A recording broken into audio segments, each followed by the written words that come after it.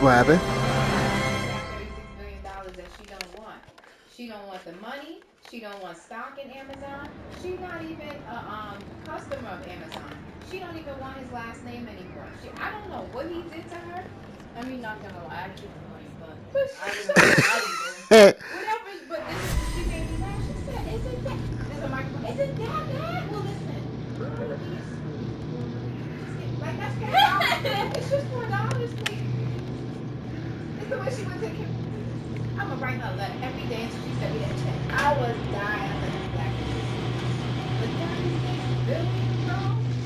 I felt like she could. If I had that money, I would have just took all the money and if I would have won like that. You?